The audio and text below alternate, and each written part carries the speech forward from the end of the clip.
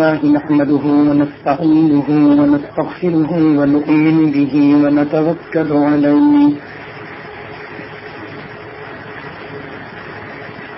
ونعوذ بالله من شرور أنفسنا ومن سيئات أعمالنا.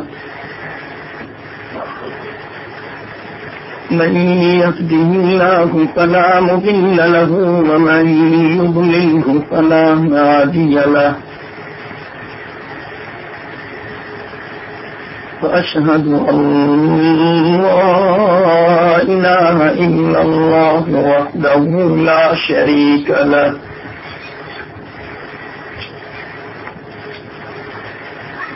وأشهد أن محمدا عبده ورسوله.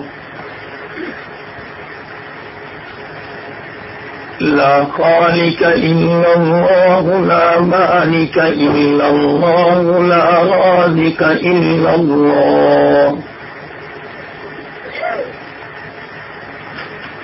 لا معبود إلا الله لا مقصود إلا الله لا مطلوب إلا الله. هو الأول والآخر والظاهر والباطن.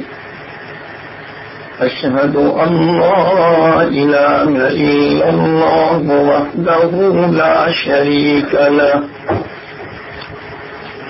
لا شريك له ولا وزير له ولا مشير له.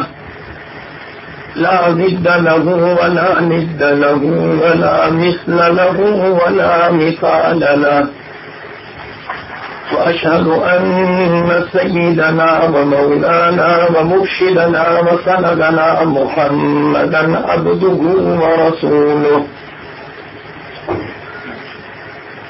أطول البشر محمد أجمل البشر محمد أكمل البشر محمد أطيب البشر محمد. سيد الأنبياء محمد خطيب الأنبياء محمد. سيد الثقلين محمد إمام القبلتين محمد. جد الحسن محمد وجد الحسين محمد.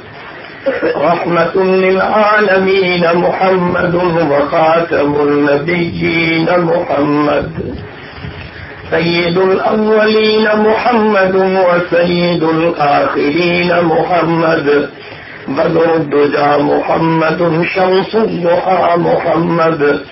خير الورى محمد ونور الهدى محمد. صلى الله عليه وعلى آله وأصحابه وأزواجه وبناته وأبي بيته.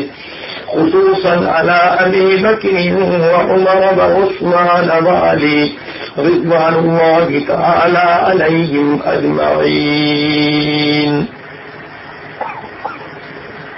فقد قال الله تبارك وتعالى في القرآن المجيد والفرقان الحميد. أعوذ بالله من الشيطان الرجيم. بسم الله الرحمن الرحيم.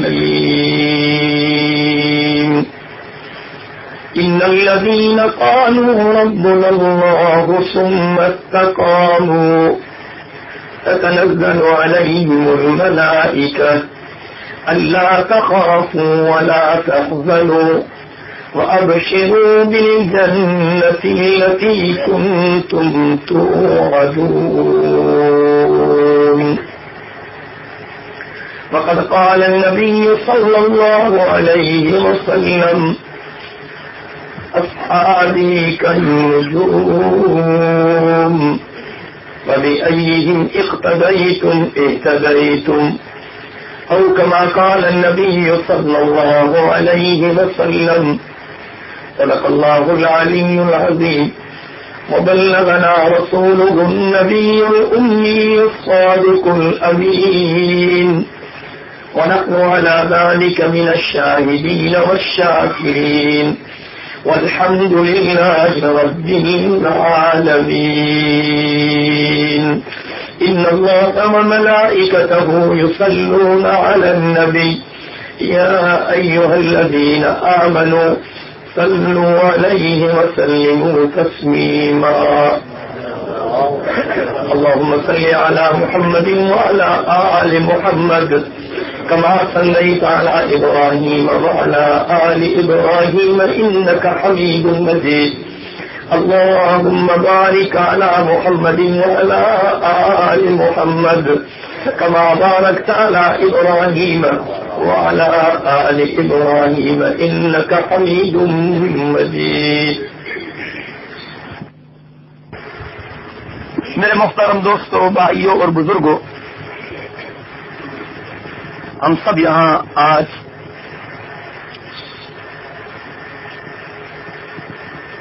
تیرہ اگست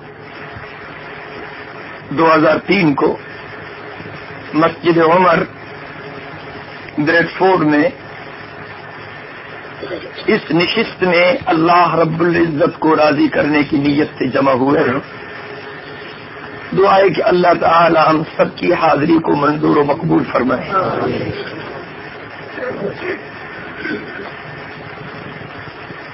اللہ رب العزت نے حضور اکرم صلی اللہ علیہ وسلم کے صحابہ کے ایمان کو معیار قرار دیا۔ فرمایا گیا، آمینو کما آمن الناس۔ اس طرح ایمان لے آؤ۔ جس طرح میرے محبوب کے صحابہ نے ایمان لایا۔ صحابہ کرام کے ایمان کو کسبتی اور معیار قرار دیا گیا۔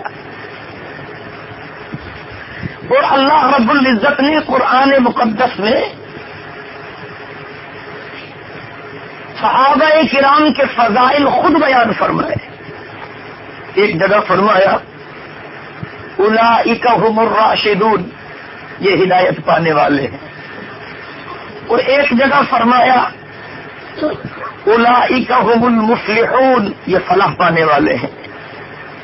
اور ایک جگہ فرمایا الا اکم المؤمنون حقا۔ یہی ہے سچے مومن۔ اور ایک جگہ فرمایا، رضی اللہ عنہم ورضو عنہ۔ میں اللہ ان سے راضی ہو گیا، یہ مجھ سے راضی ہو گئے۔ اور ایک جگہ فرمایا الا اکلزی نمتحن اللہ قلوب لتقوا ان کے قلوب کا امتحان میں نے خود لیا ہے۔ پہلا مدرسہ بیت اللہ اور نصاب تعلیم کلام اللہ۔ اور اس مدرسے کے استاذ جناب محمد الرسول اللہ۔ اور وہاں سے جو نکلے اور رضی اللہ ان کو جو ڈگری مل گئی، میرے محترم دوستو، عام لوگوں میں اور حضرات صحابہ کرام میں کیا فرق ہے؟ انبیاء اور رسول کا مقابلہ نہیں ہو سکتا۔ ان کا مقام سب سے بڑا اور اونچا ہے۔ انبیاء اور رسول کو چھوڑ کر جتنے لوگ گزرے ہیں، جتنے موجود ہیں، جتنے آئیں گے، ان سب کو آپ ملائیں اصحاب محمد کی عظمت کا مقابلہ کوئی نہیں کر سکتا۔ جو گزرے ہیں، وہ بھی دعائیں کرتے ہوئے گزرے۔ جو موجود ہیں، وہ بھی دعائیں کر رہے ہیں۔ جو آئیں گے، وہ بھی دعائیں کریں گے۔ اے اللہ تو ہم سے راضی ہو جا۔ اے اللہ تو ہم سے راضی ہو جا۔ اے اللہ تو ہم سے راضی ہو جا۔ جو گزر گئے، یہی دعائیں کرتے ہوئے گزر گئے۔ جو ہیں، یہی دعائیں کر رہے ہیں۔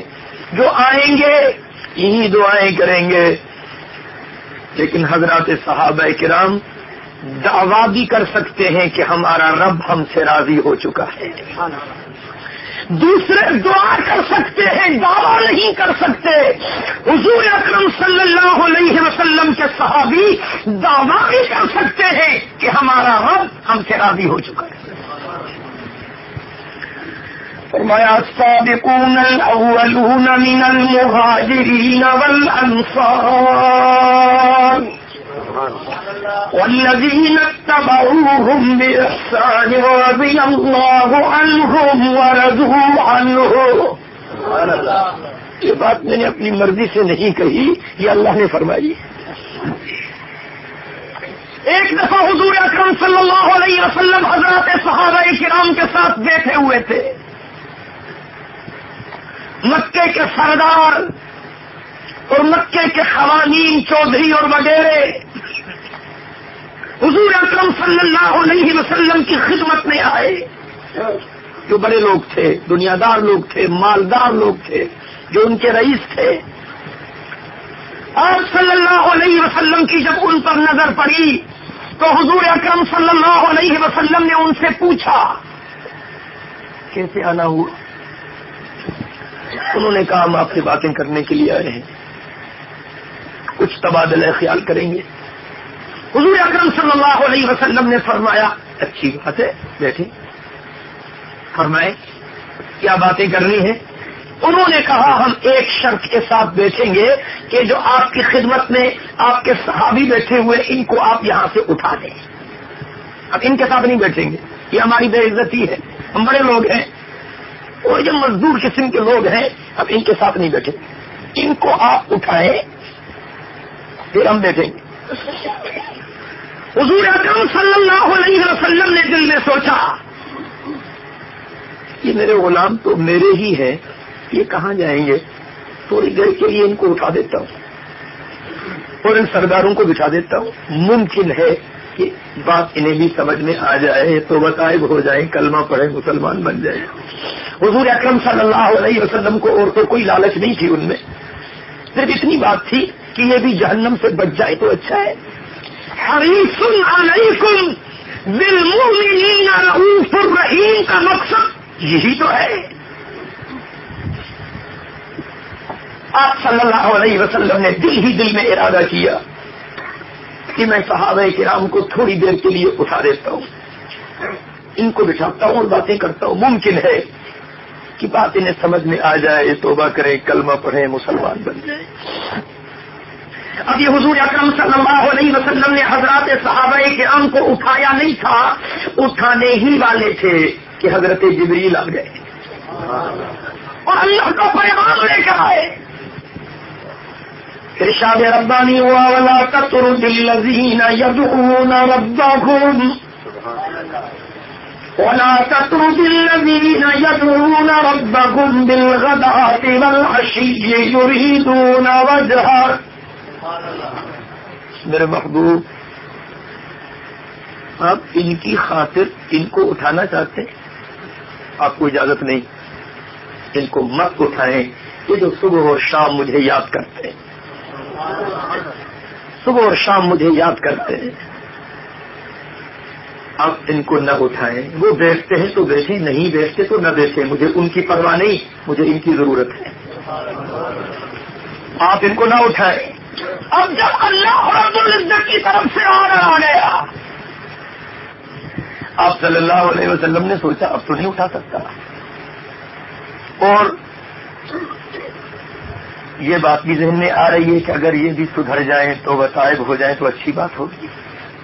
اور اب ان کو اٹھا بھی نہیں سکتے۔ دل ہی دل میں حضور اکرم صلی اللہ علیہ وسلم نے سوچا کہ میں خود اٹھ جاتا ہوں۔ اللہ نے مجھے تو نہیں روکا۔ میں اٹھ جاتا ہوں۔ اور ان سے کہتا ہوں، ان کو یہیں بیٹھنے دیں۔ ہم اس جگہ میں بیٹھ جاتے ہیں، وہاں باتیں کرتے ہیں۔ ممکن ہے کہ سدھر جائیں تو بتائب ہو جائے۔ کیونکہ اللہ نے مجھے تو نہیں روکا۔ ابھی آپ صلی اللہ علیہ وسلم اٹھے نہیں تھے۔ اٹھنے ہی والے تھے کہ حضرت جبریل دوبارہ آ گئے۔ اور اللہ کا پیغام لائے۔ وَاصْبِرْ نَفْسَكَ مَعَ الَّذِينَ يَدْعُونَ رَبَّهُمْ بِالْغَدَاةِ وَالْعَشِيِّ يُرِيدُونَ وَجْهَهُ۔ اے میرے محبوب، آپ بھی نہیں اٹھ سکتے۔ آپ کو بھی اٹھنے کی اجازت نہیں۔ آپ ان کی وجہ سے ان کو چھوڑیں گے؟ نہیں، مجھے ان کی ضرورت ہے۔ وہ بیٹھتے ہیں تو بیٹھیں، نہیں بیٹھتے، نہ بیٹھیں۔ اب ان کے ساتھ بیٹھے رہے جو صبح و شام مجھے یاد کرتے ہیں۔ جن کا مقصد میری رضا کے سوا اور کچھ بھی نہیں۔ جنہوں نے سب کچھ قربان کر دیا۔ ان کے ساتھ بیٹھے رہے آپ نہ اٹھیں۔ آپ کو اٹھنے کی اجازت نہیں۔ آپ صلی اللہ علیہ وسلم نے سوچا، اب تو میں بھی نہیں اٹھ سکتا۔ اور ذہن میں یہ بات آ رہی ہے، اگر یہ بھی توبہ ٹائب ہو جائیں کلمہ پڑھ لیں، مسلمان ہو جائیں، تو اچھی بات ہوگی۔ ممکن ہے میری باتوں سے سمجھ جائے۔ آپ صلی اللہ علیہ وسلم نے دل ہی دل میں سوچا کہ اب یوں کرتا ہوں کہ کسی بہانے ان کو بٹھاتا ہوں اور انہیں کہتا ہوں تھوڑی دیر کے لیے بیٹھ جاؤ اور پھر میں وہاں شروع کرتا ہوں، دیکھوں گا ان کی طرف۔ ممکن ہے کہ نظر نبوت کوئی کام کر جائے۔ تھوڑی دیر کے لیے ان کو دیکھوں گا۔ ممکن ہے سمجھ جائے۔ ابھی آپ صلی اللہ علیہ وسلم نے یوں کیا نہیں تھا۔ کرنے ہی والے سے کہ جناب جبریل پھر آ گئے۔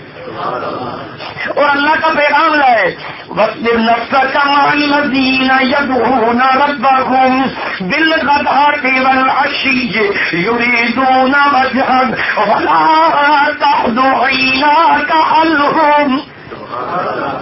میرے محبوب اب آپ نے یہ سوچا ہے نا کہ آپ کسی بہانے ان کو بٹھائیں گے، پھر بات فرمائیں گے، پھر ان کو دیکھیں گے۔ ممکن ہے کہ نظر نبوت کو ہی کام کر جائے۔ ہاں ان کو بٹھائیں، اگر بیٹھتے ہیں ہاں بٹھانے کی کوشش کریں واضح بھی سنائیں، لیکن آپ کی نظر ان کے چہرے پر نہیں پڑنی چاہیے۔ آپ کی نظر ان کے چہروں پر پڑنی چاہیے۔ آپ کی نظر صدیق اکبر کے چہرے پہ پڑے، فاروق اعظم کے چہرے پہ پڑے، عثمان ذنورین کے چہرے پہ پڑے، علی کے مرتبہ کے چہرے پہ پڑے، حسن و حسین کے چہرے پہ پڑے، بلال اور گلزا کے چہرے پہ پڑے، طلحہ اور زبیر کے چہرے پہ پڑے۔ جو میرے ہیں، آپ کی نظر ان کے چہروں پہ پڑنی چاہیے۔ کچھ آپ نے محسوس کیا کہ اللہ کے ہاں صحاب محمد کا کتنا مقام ہے بد نصیب ہے وہ لوگ جو حضور اکرم صلی اللہ علیہ وسلم کے صحابہ سے بغض رکھتے ہیں۔ اللہ انہیں ہدایت دے۔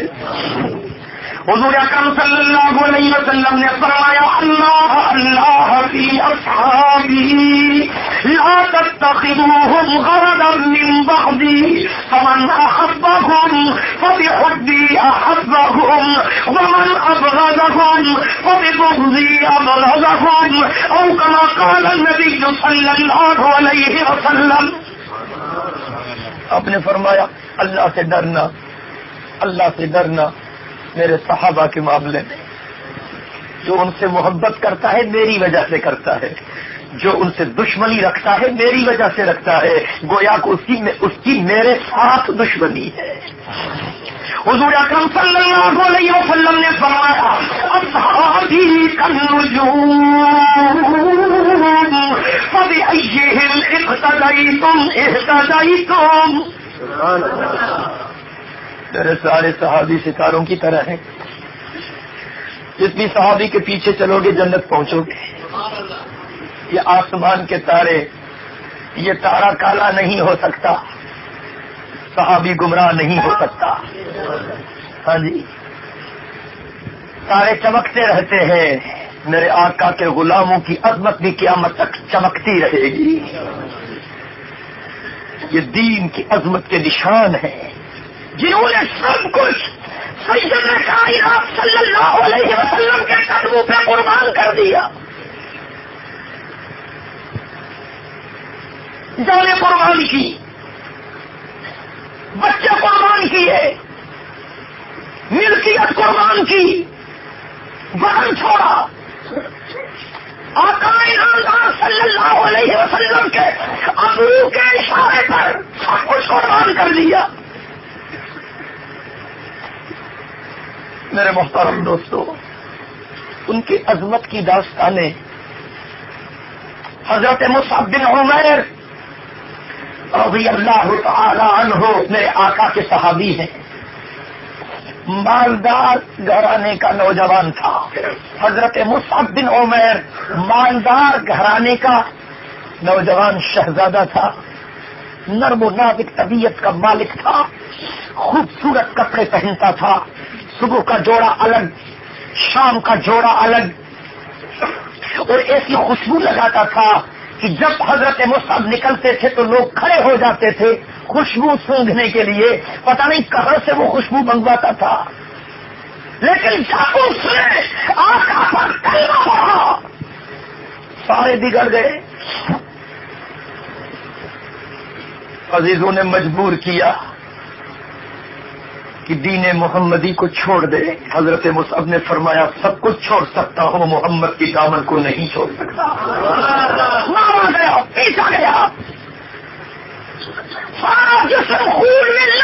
ہو گیا پوچھنے لگے، کیا خیال ہے؟ کہا، حضور کی دامن کو نہیں چھوڑ سکتا۔ فرمایا، پھر ہمارے گھر کو چھوڑ دے، کہا، گھر چھوڑ دے تو کوئی سامان ساتھ لے جانے کی اجازت نہیں کر نہیں لے جاتا۔ تنہا نکلا ہے۔ تو کہا گیا کہ یہ کپڑے بھی ہمارے یہ بھی اتار دو۔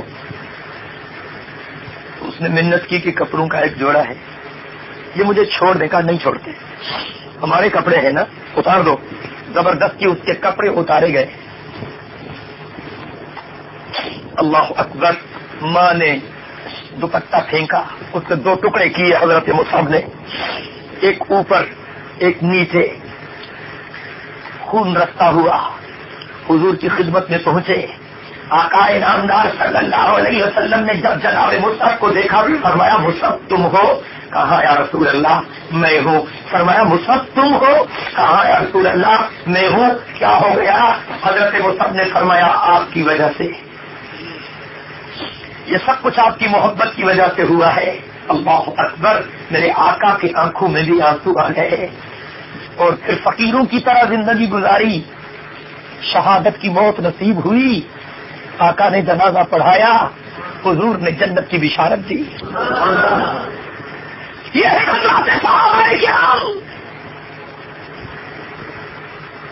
میرے دوستوں ہمیشہ ہی یہ کہ حضور اکرم صلی اللہ علیہ وسلم کے صحابہ کرام کی زندگیوں کا مطالعہ کریں۔ ایمان سیکھنا ہے، تو صحابہ کرام سے سیکھیں۔ استقامت سیکھنی ہے، تو صحابہ کرام سے سیکھیں۔ ثقافت سیکھنی ہے، صحابہ کرام سے سیکھیں۔ شرافت سیکھنی ہے، صحابہ کرام سے سیکھیں۔ امانت سیکھنی ہے، صحابہ کرام سے سیکھیں۔ محمد کی غلامی سیکھنی ہے، صحابہ کرام سے سیکھیں۔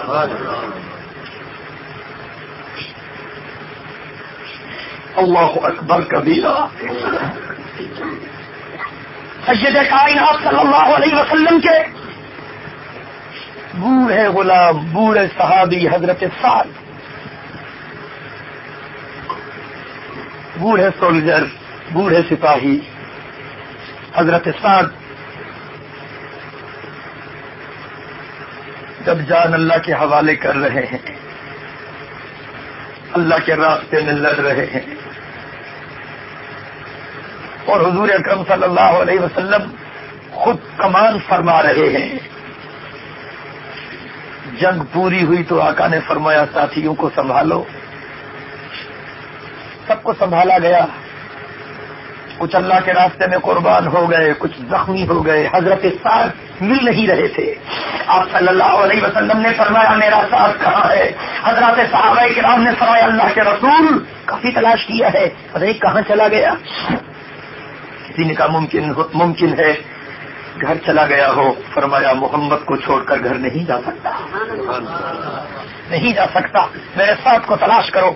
جاؤ میرے ساتھ کو تلاش کرو۔ کچھ صحابی ادھر گئے۔ کچھ ادھر گئے۔ کچھ ادھر گئے۔ ایک صحابی نے آواز دی ساتھ اگر زندہ ہو تو جواب دو۔ ساتھ اگر زندہ ہو تو جواب دو۔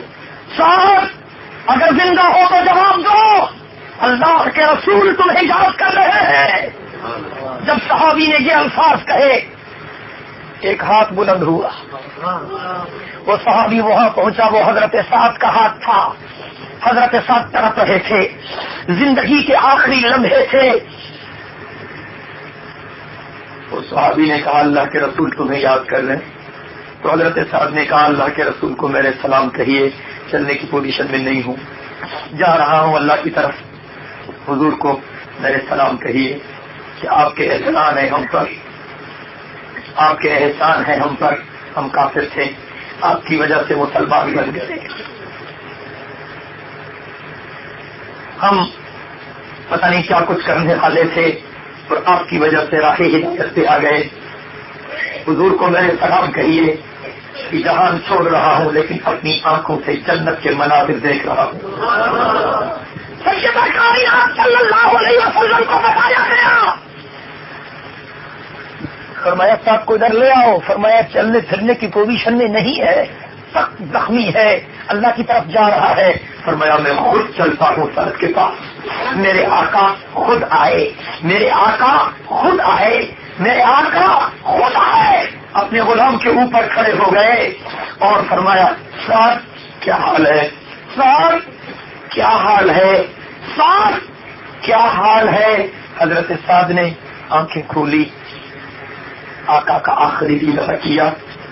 سرک سرک کر آقا کے قدموں کے قریب آ گیا اور زبان حال سے گویا یوں کرنے لگا کہ ہائے کوئی خوش نصیب جو میری قسمت کا مقابلہ کرے کہ میرے آخری سانس آقا کے قدموں پہ نشاور ہو رہے۔ جان جان آفرین کے سپرد کر دی۔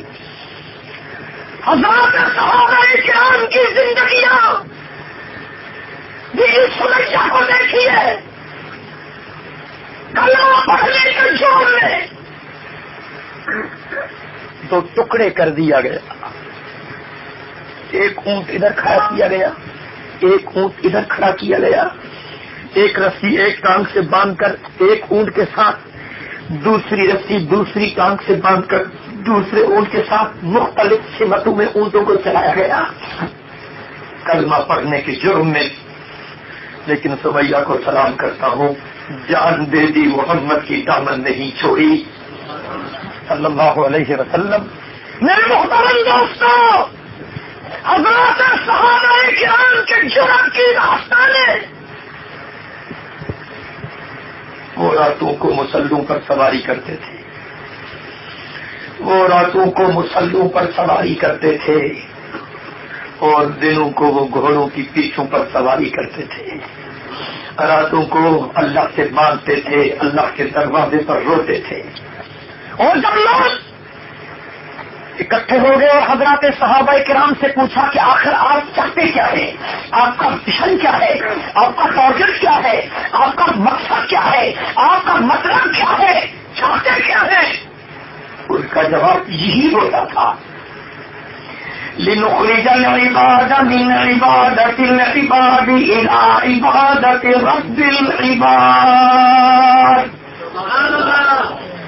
فرماتے تھے لنخرج العباد من عبادة العباد إلى عبادة رب العباد۔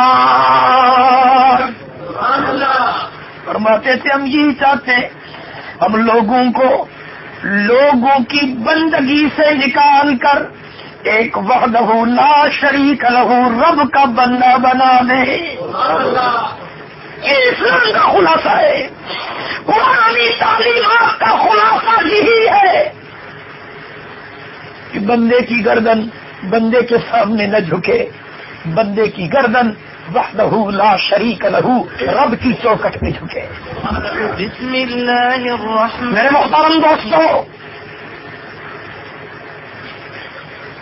صحابہ کرام کے تاجدار حضرت صدیق اکبر کہیں رضی اللہ ہو، تعالی عنہ، سارے مل کے کہیں رضی اللہ ہو، تعالی عنہ۔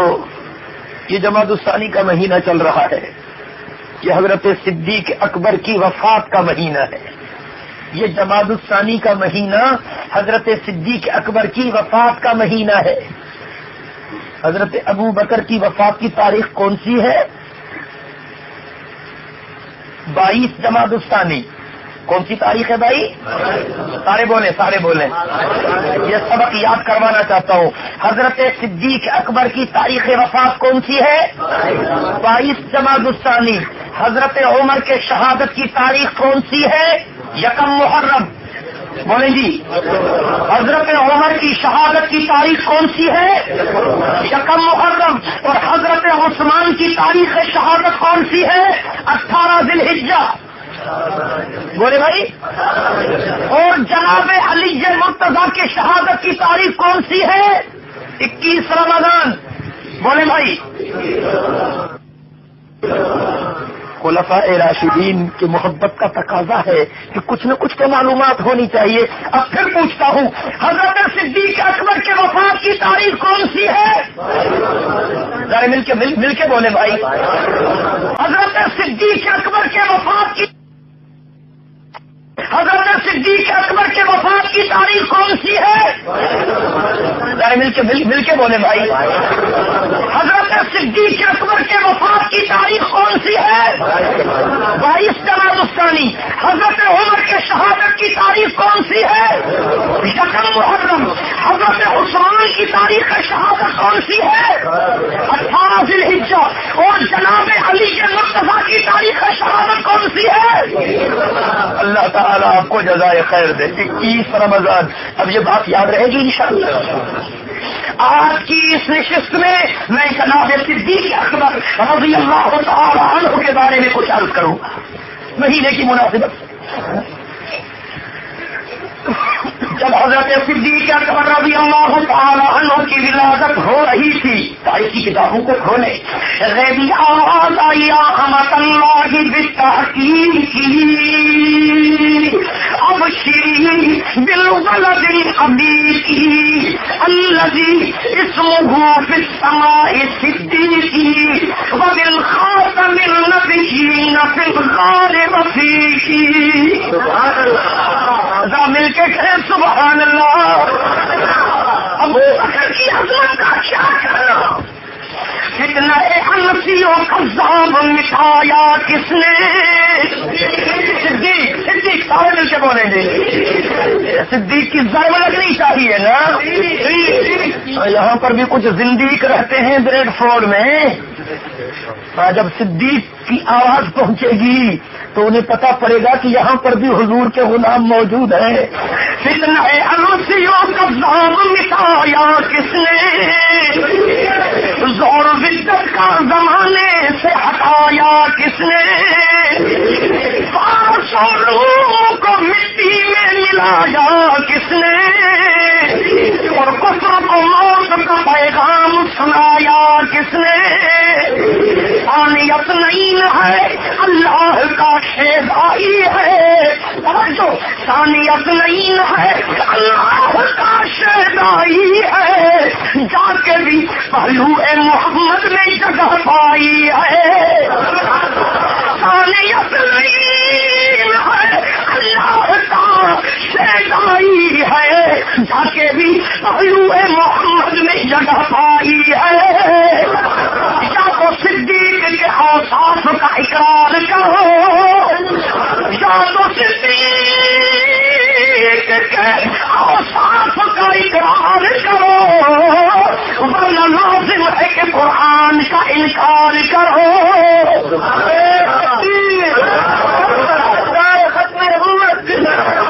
صدیق اکبر اللہ اکبر کبیرہ، قرآن کی آواز آ گئی۔ اللہ تنصروه فقد نصره الله اذ اخرجه الذين كفروا ثاني اثنين اذ هما في الغار اذ يقول لصاحبه اذ يقول لصاحبه، لا تحزن ان الله معنا۔ اللہ اکبر کبیرہ۔ جس نے بھی ایمان کی حالت میں حضور کی زیارت کی ہے، وہ صحابی ہے۔ یہ ہمارا ایمان ہے۔ جس نے بھی ایمان کی حالت میں حضور کی زیارت کی ہے، وہ صحابی ہے۔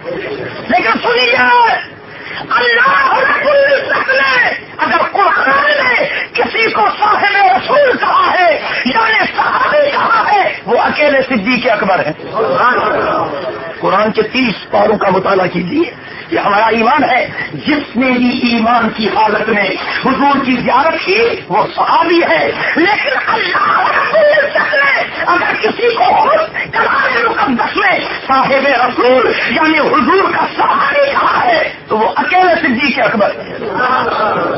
میں نے قرآن کی آیت پڑھی فقد نصره الله. إذ أخرجه الذين كفروا ثاني اثنين. إذ هما في الغار.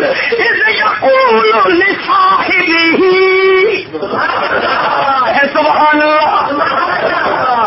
میرے محترم دوستو، حضرت صدیق اکبر کی جب ولادت ہو رہی تھی تو قیدی آواز سنائی دی۔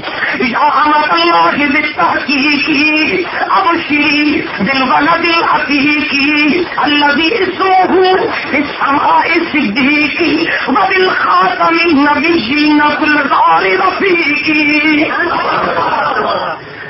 آواز آئی۔ ابو بکر کی ماں تجھے مبارک ہو۔ ابو بکر کی ماں تجھے مبارک ہو۔ ایسا بچہ تیرے بطن سے جنم لے رہا ہے جس پر اللہ نے جہنم کی آگ کو حرام کر دی۔ ابو بکر کی امی تجھے مبارک ہو۔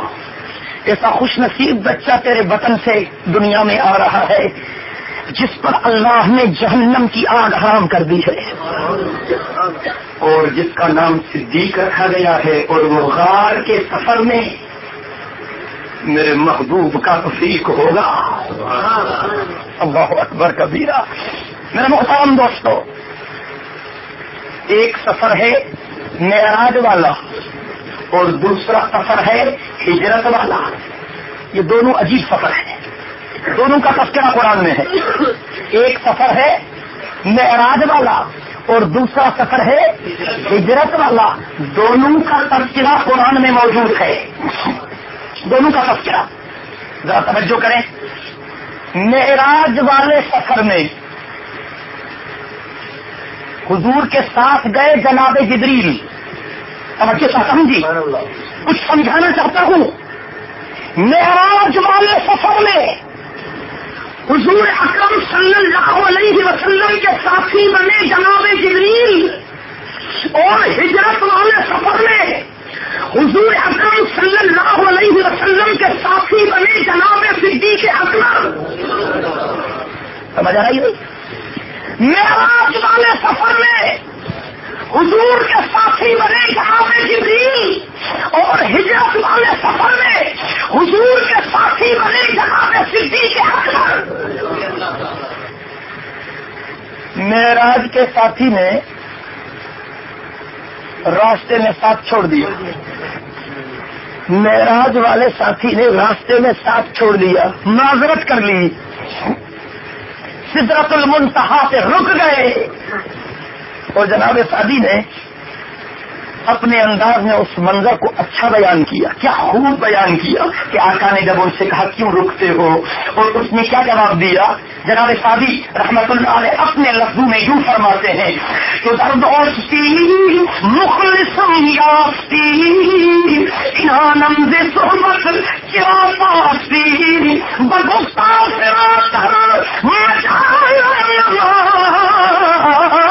باندم کی نیرو ہے بالم نماند اگر یکسر منہ بندر پرم سروغ تجلی بسوزد پرم جب حضور اکرم صلی اللہ علیہ وسلم نے جناب جبریل سے کہا، میں نے تو بے وفائی نہیں کی، تو بے وفائی کیوں کر رہا ہے، کیوں رک رہا ہے؟ جناب جبریل نے کہا، اللہ کے حدیث چھوڑنے کو جی تو نہیں چاہ رہا، لیکن آگے چلوں گا تو جل جاؤں گا۔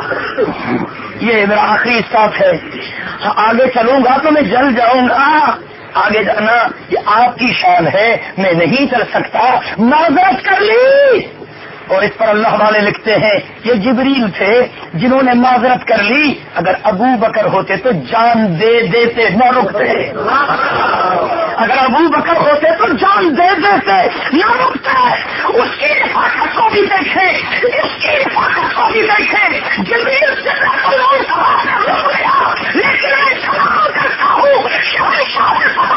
حضرت صدیق اکبر کو بدل نے بھی اکٹھا رہا خود میں بھی اکٹھا رہا۔ تاریخ میں اکٹھا رہا عزت میں اکٹھا رہا خدا کی قسم مکے میں اکٹھا رہا مدینے میں اکٹھا رہا روزے میں اکٹھا رہا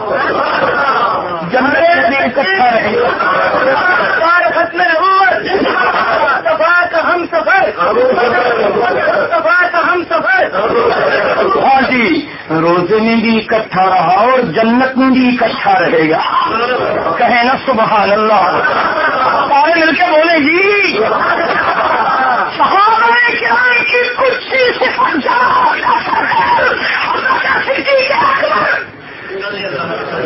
رضی اللہ تعالی عنہ۔ کتنا قربانی کتنی؟ جب آقا نے چندے کی اپیل کی حضرت عمر رضی اللہ تعالیٰ عنہ فرماتے ہیں کہ اس دن میرے گھر میں کچھ پیسے زیادہ تھے۔ ایک دن جب آقا نے تعاون کی اپیل کی، حضرت عمر رضی اللہ تعالیٰ عنہ فرماتے ہیں، اس دن میرے گھر میں پونجی کچھ زیادہ تھی۔ میں نے سوچا، ابو بکر ہمیشہ بازی لے جاتا ہے، آج میں جیتوں گا۔ زیادہ چندہ دوں گا۔ گھر گیا، پوری ملکیت کو دو حصوں میں تقسیم کیا، آدھا اہل ویال کے حوالے کیا اور پوری آقا کے قدموں کے سامنے رکھ دی۔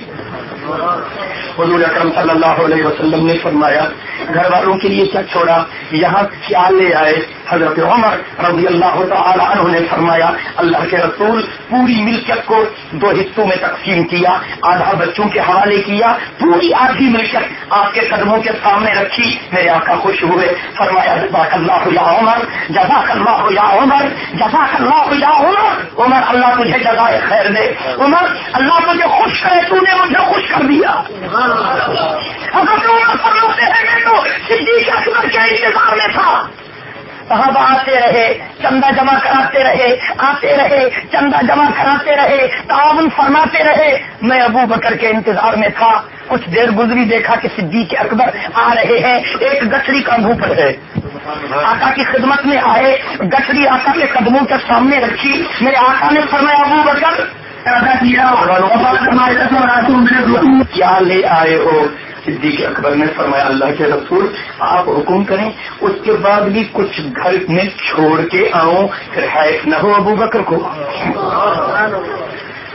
جھاڑو پھیرا ہے، اللہ کے رسول، جھاڑو پھیرا ہے۔ نہ سوئی چھوڑی، نہ جھاڑو چھوڑا۔ جو نظر آیا ہے آپ کے قدموں کے سامنے رکھ دیا۔ حضور نے فرمایا، کچھ بچوں کے لیے بھی چھوڑتے حضرت صدیق اکبر نے فرمایا، اللہ اور اللہ کے رسول کا نام ان کے لیے کافی ہے۔ کو چراغ دل کو پھول بس فرمایا کو چراغ۔ دل کو پھول بس، صدیق کے لیے ہے خدا کا رسول بس۔ صحابہ کے مصطفیٰ کو حق نے کیا جگر دیا؟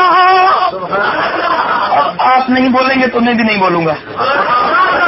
کافی چھٹی دی ہے میں نے، اب بولنا شروع کر دیا سارے مل کے کرے سبحان اللہ۔ کی گونج آنی چاہیے۔ کے مصطفیٰ کو حق نے کیا جگر دیا کہ بہرے دین بے بھارت سب نے مولو در دیا۔ کسی نے نصف کر دیا، کسی نے سرس بھر دیا۔ مگر عائشہ کے باپ نے، مگر عائشہ کے باپ نے، مگر عائشہ کے باپ نے دیا تو اس کا در دیا۔ مگر عائشہ کے باپ نے دیا تو اس کا در دیا خدا کے نام کے سوا جو کچھ سنو کے در دیا یہ سب سے پہلے حضور کی امت میں سے کعبے کی گیٹ پر توحید کی تحریر کرنے والا یہی ابو بکر ہے۔ وہ ابو بکر نے کیا ہے۔ حضور اکرم صلی اللہ علیہ وسلم سے اجازت طلب کی، میرے آقا، میرا جی کہتا ہے، میں کعبے کی گیٹ پہ کھڑا ہو کر لوگوں کو توحید کا عقیدہ سمجھاؤں۔ کلمہ سمجھاؤں، دین سمجھاؤں، اسلام سمجھاؤں۔ مجھے آپ اجازت مرحمت فرمائے حضور اکرم صلی اللہ علیہ وسلم نے فرمایا، ابو بکر کفر زوروں پر ہے، مسلمان تھوڑے ہیں۔ کافر تمہیں تکلیف پہنچائیں گے۔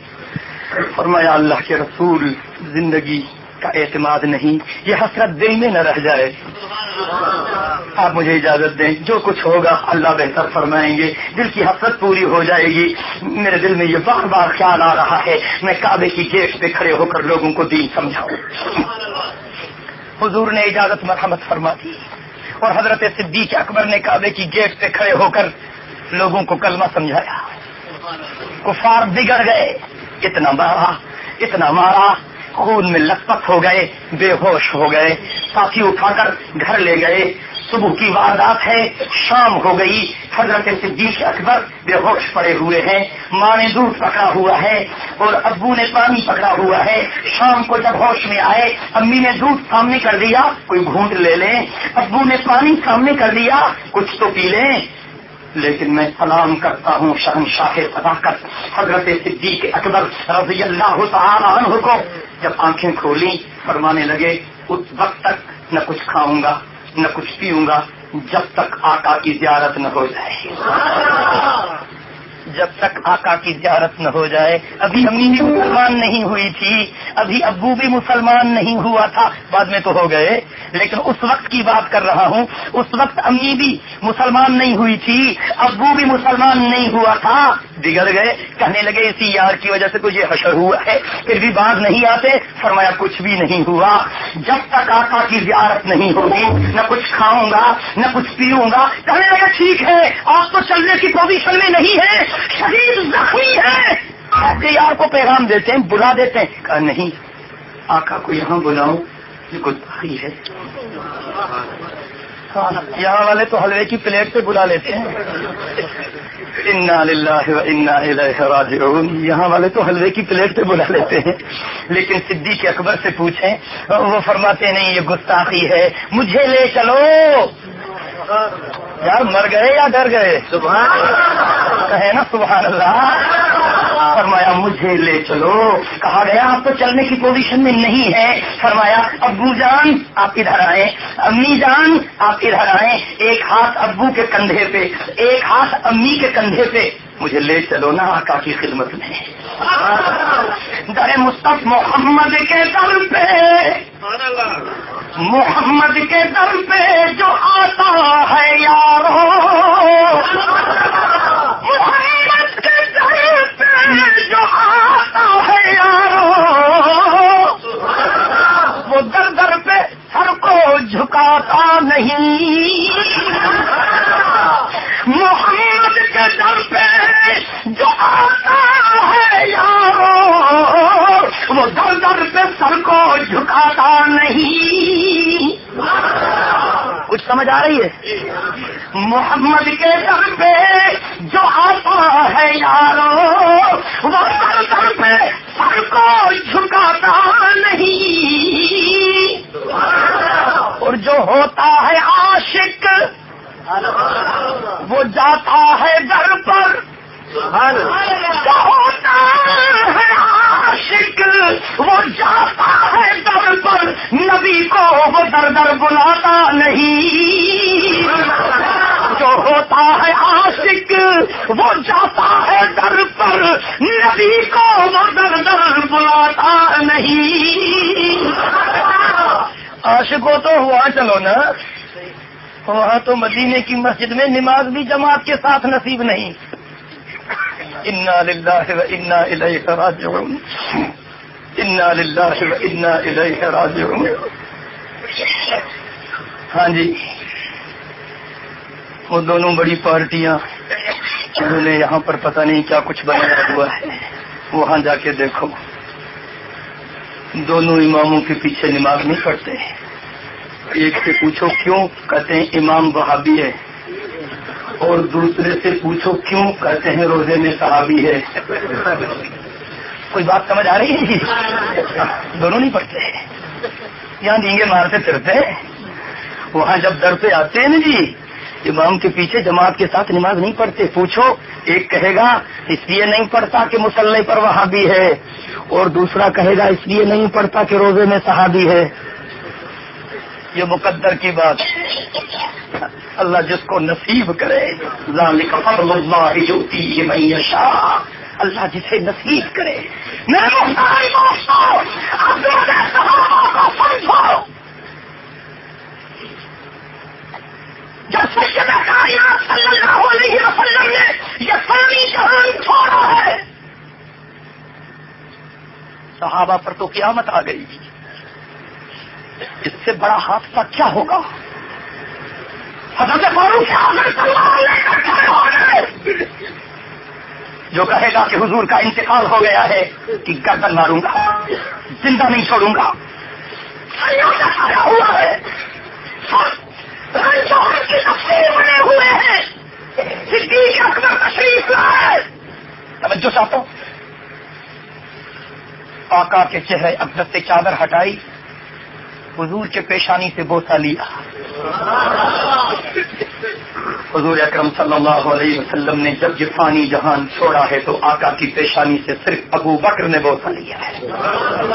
کہیں نا سبحان اللہ۔ اور پھر باہر نکلے۔ اور فرمایا جناب عمر سے ڈر جاؤ عمر کے ساتھ بہادر دیر انسان گئی! میں اور جناب صدیق اکبر نے فرمایا، من کا نمی کم یعبد محمد فإن محمد قد مات! ومن كان يعبد الله وحده فإنه حي لا يموت. اگر کوئی حضور کی پوجا کرتا تھا تو حضور اللہ کو پیارے ہو چکے ہیں۔ اگر کوئی اللہ کی پوجا کرتا تھا تو اللہ پر موت نہیں آئے گی۔ اور پھر قرآن کی آیت؟ اور قرآن کے حوالے؟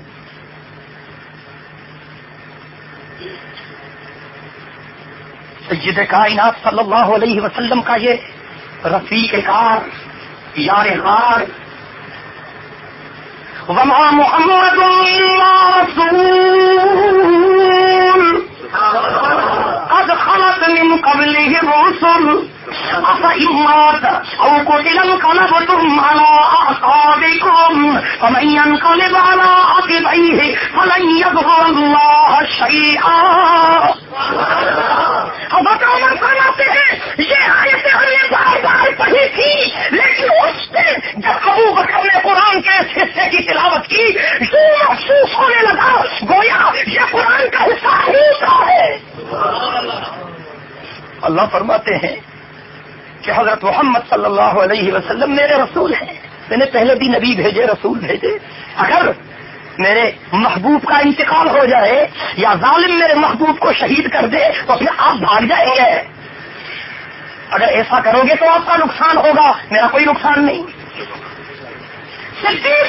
کی تقریر میں لوگوں کے ایمان کو بچا دیا۔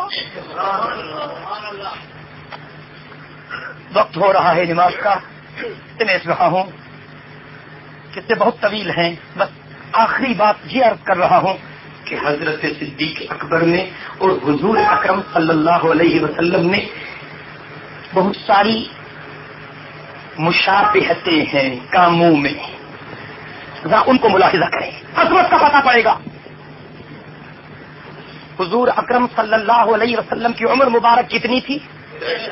ترسٹھ پر حضور اکرم صلی اللہ علیہ وسلم کی عمر مبارک کتنی تھی؟ حضرت ابو بکر کی عمر بھی ترسٹھ یہ مطابقت دیکھیں۔ یہ مطابقت دیکھیں۔ حضور اکرم صلی اللہ علیہ وسلم کی عمر مبارک بھی ترسٹھ برس صدیق اکبر کی عمر مبارک بھی ترسٹھ برس حضور اکرم صلی اللہ علیہ وسلم کو وفات سے کچھ دن پہلے بخار کی تکلیف ہوئی۔ حضرت صدیق اکبر کو بھی وفات سے کچھ دن پہلے بخار کی تکلیف ہوئی۔ حضور اکرم صلی اللہ علیہ وسلم نے وفات سے کچھ دن پہلے صدیق اکبر کو حکمن اپنے مسلح سے کھڑا کیا اور صدیق اکبر نے وفات سے چند دن پہلے حکمن جناب عمر کو مسلح سے کھڑا کیا۔ مطابقتیں اور مشابہتیں۔ ایمان تازہ ہو جائے گا۔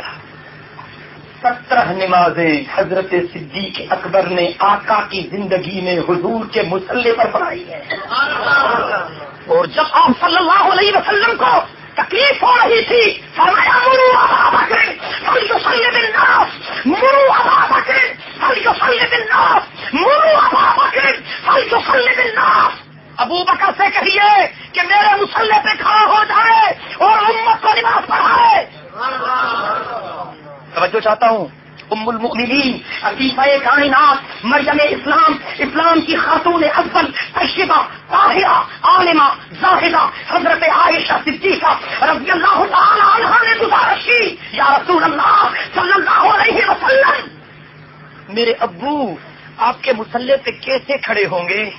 وہ تو رقیق القلب ہے. عمر سے کہیے ہاں، کہا وہ آدمی ہے، وہ کھڑا ہو جائے گا عمر سے کہیے، وہ نماز پڑھائے۔ حضور نے فرمایا، مرو ابا بکرم فلجل فل مرو ابا بکرم فلجل فل مرو ابا بکرم فلجل فل ابو بکر سے کہیے کہ وہ میرے مسلح پہ کھڑا ہو جائے اور امت کو نماز پڑھائے۔ علماء لکھتے ہیں۔ حضور کا لہجہ یہ بتلا رہا تھا کہ یہ صرف حضور کا ارادہ نہیں منشا خدا بندی بھی یہی تھی۔ کیونکہ قرآن میں لکھا ہوا ہے، وما ينطق عن الهوى ان هو الا وحي يوحى۔ حضور جب بولتے تھے، اپنی طرف سے نہیں بولتے تھے، زبان حبیب کی ہوتی تھی، لیکن کلام رب کا ہوتا۔ وہ ایک دن حضرت صدیق اکبر نماز پڑھا رہے تھے۔ حضور اکرم صلی اللہ علیہ وسلم کو کچھ افاقہ ہوا، آپ تشریف لائے۔ دوران نماز، حضرت صدیق اکبر ہٹنے لگے۔ میرے آقا نے اشارہ فرمایا، اپنی جگہ پر کھڑا ہوا محمد تجھے ہٹانے کے لیے نہیں آ رہا۔ محمد تجھے اپنے ہاتھوں سے ٹکانے کے لیے آ رہا۔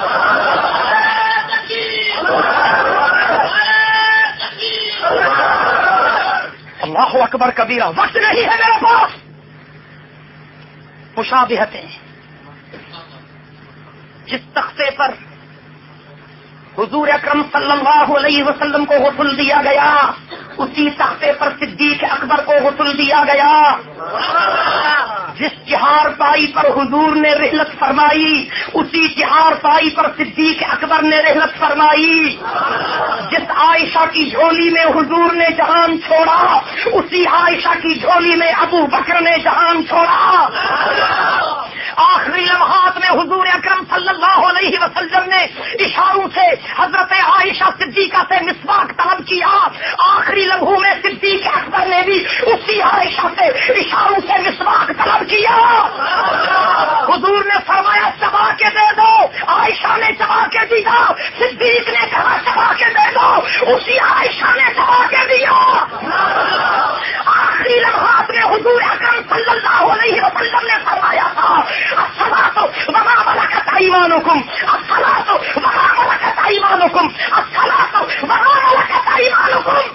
یہ حضور کے آخری الفاظ ہیں۔ مجھ پر کلمہ پڑھنے والوں، نماز نہ چھوڑنا۔ یہ حضور کے آخری کلمات ہیں۔ جب فانی جہان کو چھوڑ رہے ہیں، آقا۔ آخری کلمات زبان مبارک سے یہی نکلے ہیں۔ مجھ پر کلمہ پڑھنے والوں، نماز نہ چھوڑنا اور اپنے ماں تحتوں کا خیال کرنا، جو آپ کے زیر دست ہوں، آپ کے ملازم ہوں، ان کے ساتھ زیادتی نہ کرنا، ان کے ساتھ حسن سلوک کرنا۔